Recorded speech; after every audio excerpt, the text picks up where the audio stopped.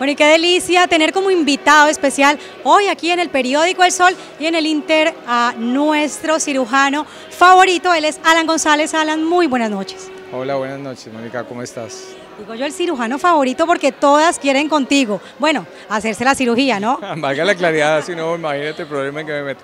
Sí, pues eh, en realidad más allá de eso es que eh, es tanta la pasión que le ponemos a esto y, sobre todo el querer estar en las últimas técnicas y tecnologías eh, en pro del mejor resultado estético para, tanto para las mujeres como para los hombres a nivel facial y corporal, que ha hecho que durante estos 19 años vayamos creciendo en credibilidad, creciendo en experiencia y sobre todo creciendo en pasión, en pasión por hacer que las personas vivan una mejor calidad de vida a partir de un pequeño cambio o un pequeño ajuste en, no solo en su cuerpo, sino también en su cara.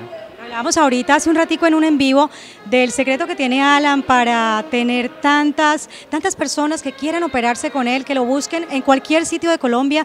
Yo quiero que este sea mi médico. ¿Cuál es ese secreto? Bueno, yo, yo pienso que el voz a voz, obviamente, ya son muchos años, pero, pero además de eso es la visión integral que hacemos de la cirugía plástica. Es una visión integral donde no solo es operar a los pacientes, sino orientarlos para que se hagan el mejor tratamiento de acuerdo a sus expectativas. Entonces, ir al cirujano plástico, lo hemos venido enseñando hace años, no es venir a operarse, es venir a orientarse y ver qué tipo de tratamiento es el que en realidad necesitas y a partir de eso definir con el mejor criterio, sobre todo con el mayor conocimiento y con eh, la, utilización de la tecnología, puede lograr el mejor resultado. Entonces, tanto en cara como en cuerpo, lo que buscamos en los pacientes son resultados muy naturales, que en realidad los procesos de recuperación sean muy cortos y que las cicatrices sean muy poco perceptibles. Yo creo que está el secreto de esto, que se respeten las formas, las armonías, las proporciones y que si operó Mónica salga Mónica, porque si sale Claudia pues ya no sirve el resultado, ya eso es lo que la gente censura. Hablemos de reconstrucción. Dicen que te buscan muchísimo por esto. Hay em, momentos en, en los que no nos operamos con quien debemos hacerlo y lastimosamente no quedamos como creemos y tenemos que buscar una persona que realmente nos deje como, como como, como queremos, perfecto, ¿no? Porque queremos una cirugía, pero no queremos quedar ahí como a medias. Eh, te buscan mucho por, por reconstrucción, ¿no? Sí, fíjate que es curioso.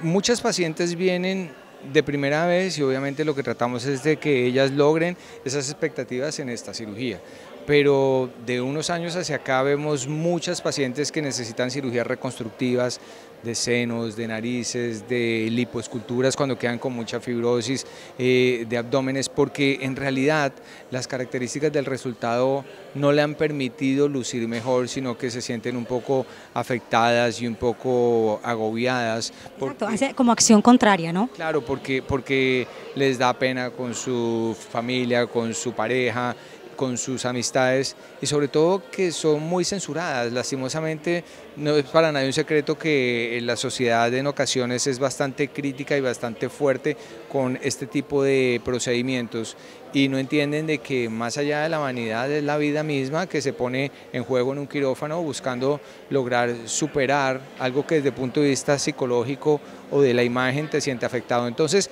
yo, yo sí tengo que decir e invitar a todos los que nos están viendo que de una u otra manera piensen muy bien a la hora de tomar una decisión, hagan una selección adecuada, que se operen con el cirujano que en realidad les diga las cosas de manera muy clara, muy precisa y sobre todo que les hable de complicaciones y de problemas que se puedan presentar porque obviamente cada cirugía tiene un proceso de recuperación y esos procesos de recuperación tienen que hacer un match completo con el cirujano y su equipo. Por ejemplo, nosotros en nuestras sedes entre Bogotá, Cali y Cartagena somos más de 70 personas entre especialistas, no cirujanos plásticos, especialistas de otras especialidades complementarias, terapeutas, que estamos en función de el mejor resultado para nuestros pacientes. ¿La cirugía que más piden tus clientes cuál es? Siguen siendo el contorno corporal, o sea, el contorno corporal es la cirugía que más se hacen, no solo la lipólisis o la lipoescultura que se hace con tecnología, con láser, láser, con microaire, sino eh, también el abdomen en mujeres que han perdido peso o que han tenido hijos. Y obviamente la cirugía de senos y cirugía de nariz son las cirugías que le siguen este tipo de procedimientos. Alan, hay, hay personas súper jóvenes que vemos que ahora mismo se quieren hacer una cirugía a los 13, 14, 15 años. ¿Cuál es la edad, para, la edad correcta para comenzar quizás eh, con el pensamiento de hacernos una, cirugía y hasta qué edad también nos podemos hacer un, eh, tratamiento de estos, por así decirlo. A ver, yo pienso que eh, es importante tener claro que las cirugías tienen un inicio a partir de la necesidad desde el punto de vista de imagen que tengan los pacientes. Entonces, por ejemplo, los niños que tienen las orejas eh, muy grandes o paradas, pues son niños que desde el colegio les empiezan a hacer bullying, entonces son niños que después de los 8 años los empezamos a operar. Pero eso es un tema absolutamente físico, funcional, psicológico.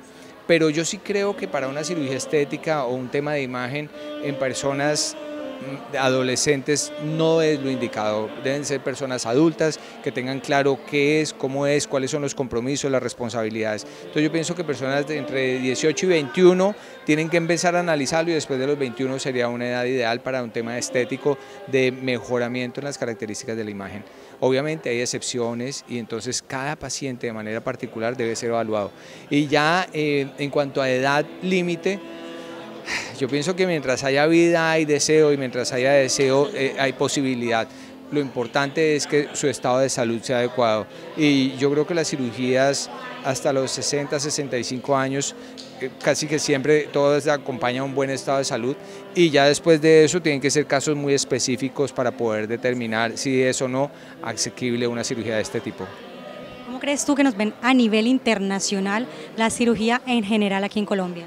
Yo creo que cada día tenemos mayores, mayor importancia, mayor reconocimiento y eso mismo ha hecho que nosotros nos hayamos desplazado a Cartagena para verlo como un sueño hecho realidad desde la perspectiva del crecimiento, porque sí vemos que los cirujanos plásticos, precisamente por nuestros resultados, estamos logrando que día a día haya mayor importancia y mayor consideración de Colombia como una opción mundial para la cirugía plástica y, por qué no decirlo, para los futuros tratamientos no quirúrgicos. Pero lo más importante de esto es que nosotros nos exigimos mucho como especialistas y estamos a la vanguardia en las tecnologías a nivel mundial que salen y eso nos permite obviamente que nos inviten de expositores o de conferencistas a congresos internacionales, obvio los nacionales y los internacionales, para hablar de nuestra experiencia y de nuestra visión de la estética y de la belleza. Alan, muchísimas gracias por estar con nosotros hoy aquí con el periódico El Sol.